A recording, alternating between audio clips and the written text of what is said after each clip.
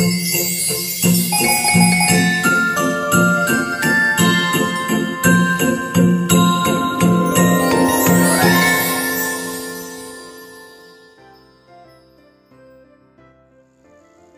Vlogmas, everybody. We are going to go ahead and get started with some keto shortbread cookies. You're going to need sugar replacement. I use Swerve. One egg.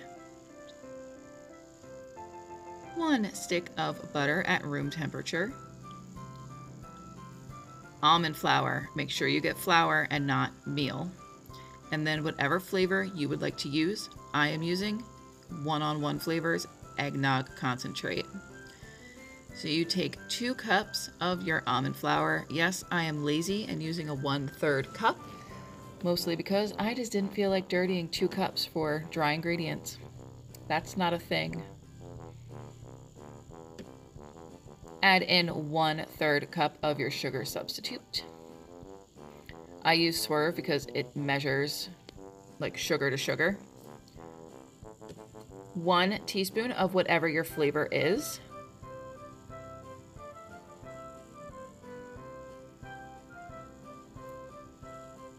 That's pretty self-explanatory. Some salt.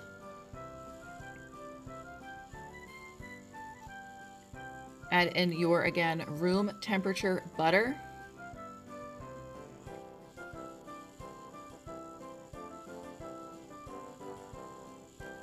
And then it is time to add the egg.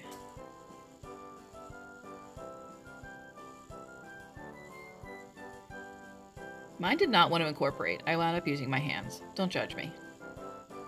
I have a sink. I washed.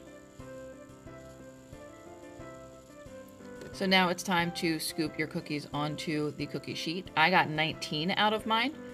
Uh, make sure that your oven is preheating to 300 degrees. These are going to cook anywhere from 15 to 25 minutes until they get nice and golden brown.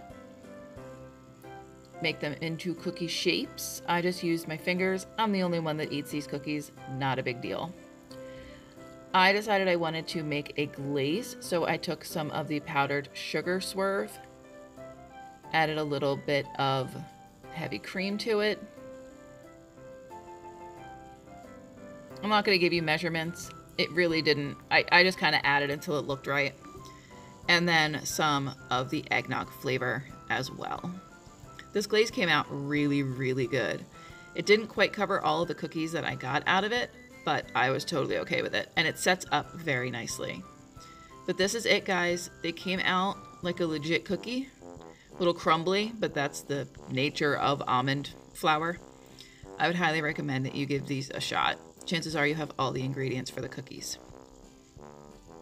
If you don't have any one-on-one -on -one flavors, you can absolutely use vanilla extract and it would be perfection.